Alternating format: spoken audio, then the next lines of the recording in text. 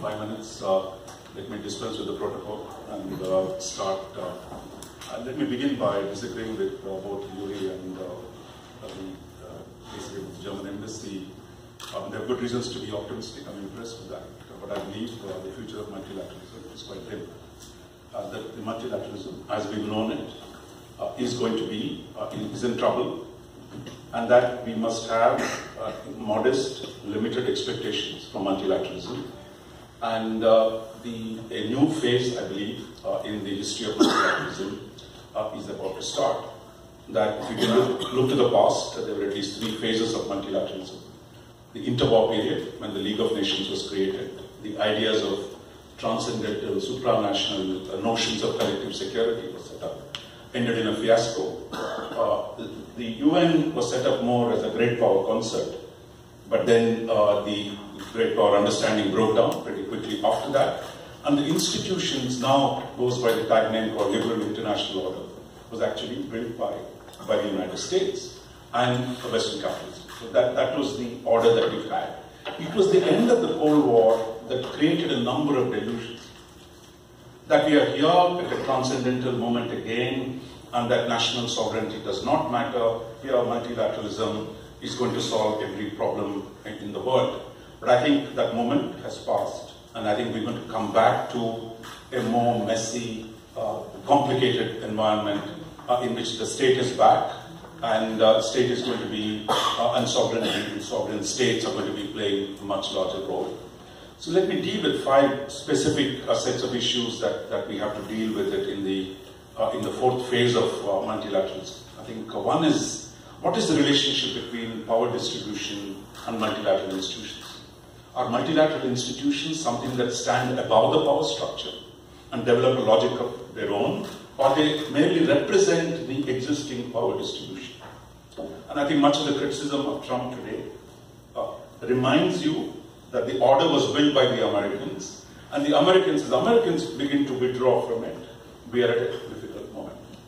And, and I think that is the problem because uh, the Americans are saying it doesn't work for me anymore. Trump is saying that. And therefore, the questions of whether the existing model, whether it's WTO, TPP, uh, whether they work or not, fundamentally is being questioned. Now, whether China is the rising power can actually replace the United States and offer us a global multilateral system. Uh, I'm not betting my bottom dollar on it, so uh, I don't know if anyone in this room is. But maybe sometime down the road, but at this point, they're not going to do it. So I think the power shift today, the decline of the Americans and the capitalism, is going to create problems for the multilateral economic institutions and political institutions. The second aspect, I think, uh, is about the notions of uh, uh, economic globalization. I mean, I think uh, this idea that it was inevitable, uh, today I think has taken a big knocking. Three core ideas that have emerged in the last 25 years. Open borders, globalization, and intervention by the major powers to fix other people's lives.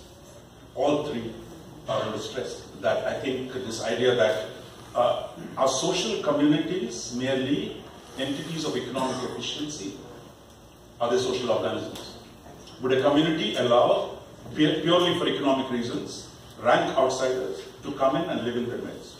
The assumption that has been made is we are merely economic creatures, that there's no social life, and the economic efficiency demands open borders. Today, the challenge is coming from the West and Europe, and not from the We love open borders. I don't think anybody benefited from open borders than the Indians. Uh, the entire world was open to us, but today I think we're going to be in a different situation. Therefore, uh, we were the ones who say globalization was bad. Today, Mr. Trump is saying the same thing.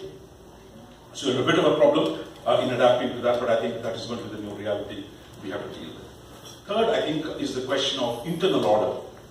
The idea that Americans know best how to fix Iraq, or the UN knows how to fix Libya or some other place. The delusion of the last 25 years that somehow transnational institutions can come and fix other people's life in the name of promotion of democracy, in the name of eliminating, uh, you know, rogue states, in eliminating, creating responsibility to protect. We've seen the bark has been worse than the bite. Uh, the impact has been limited than the claims that were made on behalf of multilateral institutions. So I think you've got to go back that you're not going to fix other people's lives, and that uh, the question of creating nation building will still have to go to the communities and not the responsibility of outsiders. So I think that's a problem that we have to deal with. Finally, the whole question of technology. Uh, we were told 20 years ago, internet is going to liberate all of us from the controls of the state.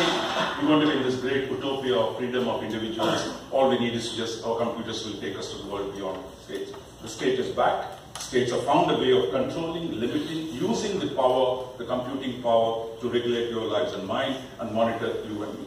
So I think there again, we are at a, a different situation.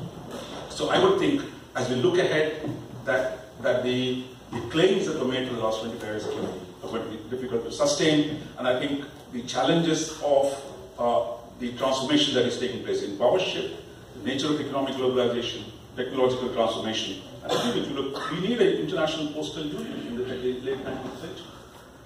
Uh, today, do you go to the post office? Many people of gen generation youngsters are not even seen a post office. Or do you need, uh, we, we had a W, what is it, International Telecommunication Union. I mean, that struggle, uh, they, as they become obsolescent, they're struggling to find the relevance. But so, so I think technology too is going to change. So there will be functional internationalism. But the idea that internationalism and multilateralism are going to be answers for everything, that I think uh, must be taken into consideration. Let me conclude by one thought.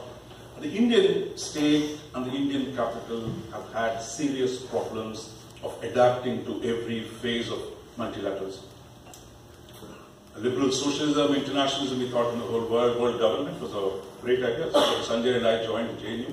We still thought a world government was possible. The left wing one, uh, now the right wing one is going to happen. So therefore, I think this, this idea that somehow that the national movement's idealism was quickly knocked out by the, when it coped with the world, second world post-war uh, order.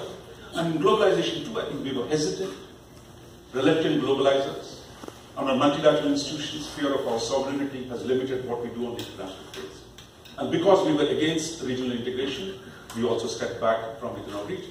Today, I think India has to adapt a path today amidst the global power shift and the nature of technological change we need to come up with a more practical, pragmatic way of adapting international institutions, of regional institutions, to national security needs. But I'm sure, since Sanjay is here, Indian capital has failed to think through this. Uh, and they've depended too much on the Indian state to bail out them. But I think if we don't, as a civil society, think about the future, we're going to be in serious trouble at the current turbulence in multilateralism.